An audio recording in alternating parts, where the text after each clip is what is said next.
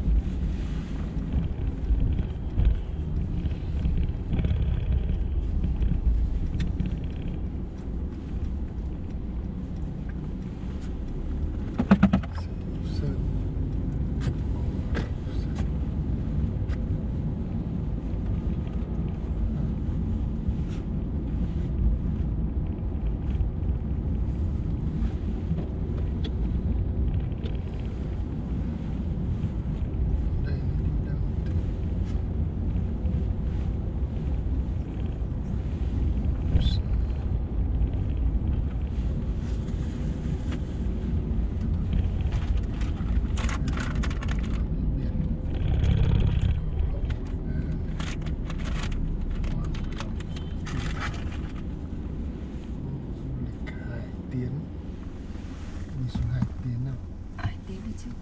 Đi Hải Tiến mới đi rồi đúng không? chưa đấy là Sầm Sơn. Anh đã đi Hải Tiến bao giờ đâu Ừ. chưa xuống cái bãi biển Hải Tiến. Đi xuống Hải Tiến nhá